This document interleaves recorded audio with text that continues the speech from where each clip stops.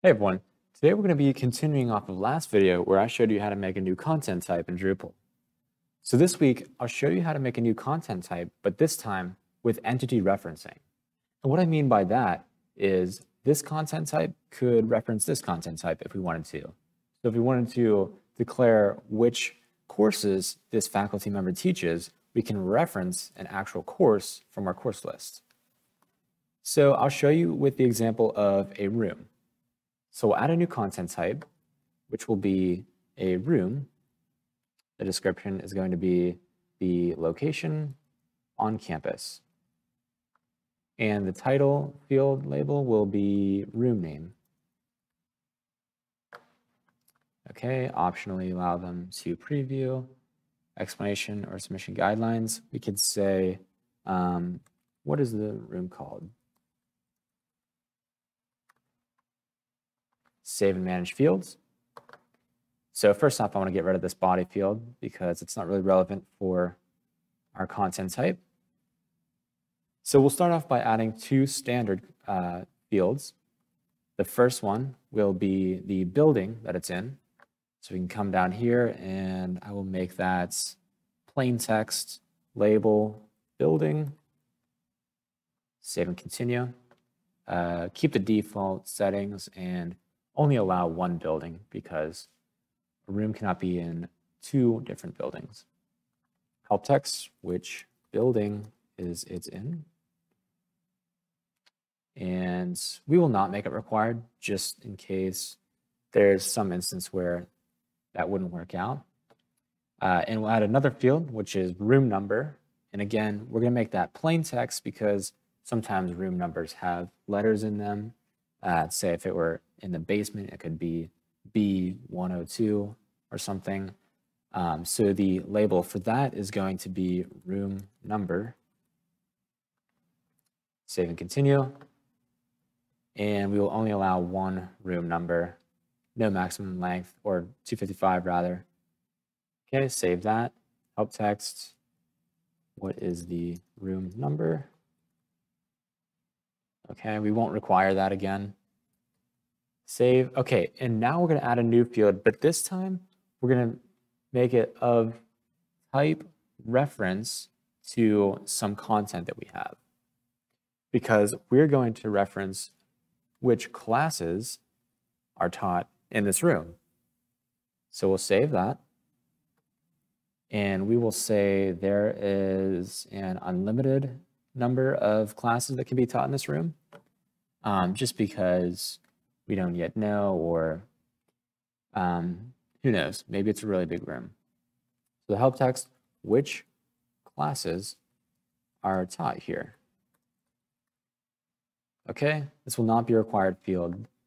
Now, once we get to the reference type, we will choose oh, default, and we're not going to create reference entities if they don't already exist.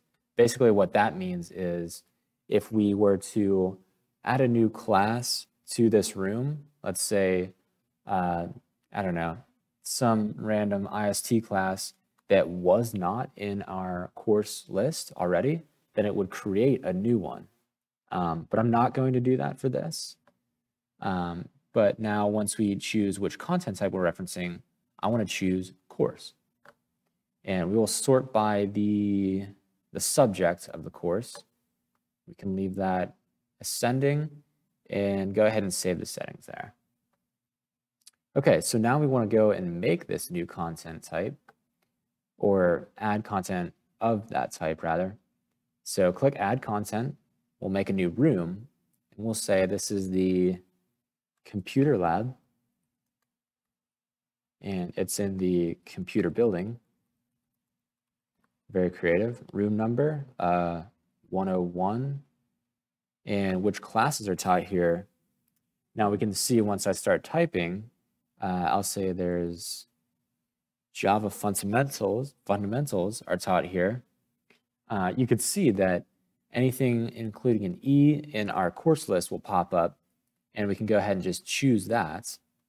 And this is the node reference there. And we'll say there's another class taught here, uh, and that will be web technologies class. That seems relevant. Okay, so now we can save that, publish it. Now we can see computer lab. Okay, it's in the computer building, room number 101. And now we see which classes are taught here. And we can actually click on these and go see the other content, the Java Fundamentals class. And we can see all the information about that. And now these two content types or these two entities are referencing each other. Well, the room is referencing this class rather, uh, and not quite the other way around.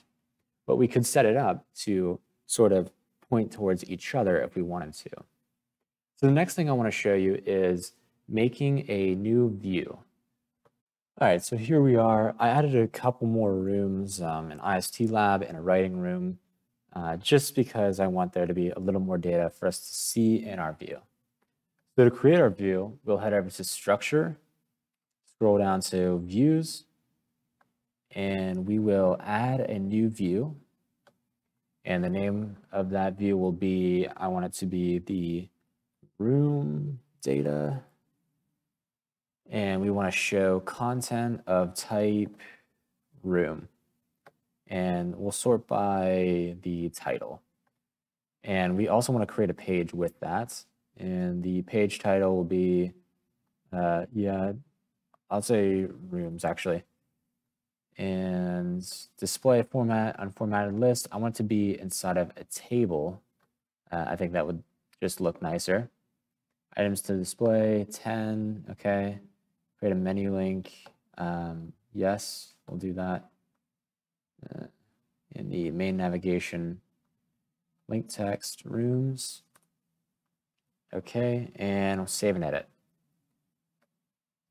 Okay, now we can see um, we get a preview of what our table looks like. There isn't much yet, but we can add some new fields. So we'll add the building. We'll add the building of where that room is, and we'll add which classes are in there. Um, and I think that will be okay for that. Let's just see. Uh, and we can configure that format it. I'm, again, just going with the plain text. And there's other settings that you can look through, but I won't get into that now. Um, classes, yeah, I want to keep it as a label. Okay, apply. And we should be able to see, we save that. We should be able to go and see our actual page here. Um, okay, so this is what the content looks like. So we have the title, building, and classes. And we want to take this link to find, okay, and we'll see the rooms. They're all inside of this table here. And there's a link on my site because I wanted to create a new page with that. Um, and so this isn't, views are not limited to just making tables of data. Um, you could format this really however you'd like, um, but that it just takes uh, a lot of work to do that and uh, a lot of planning. Most of this would be planning out what how you want everything to be shown. Uh, but for this example, I think it's nice to just come and see, okay, which rooms do we have? There's the computer lab, IC lab, writing room, uh, which buildings they're in, and which classes are taught in there. And we can actually click on these and go see, okay, uh, the computer lab, I want to check this out and get just sort of a different view of this actual room. So that was entity referencing and views in Drupal. Uh, I hope that you learned something and thank you for watching. Have a great rest of your day.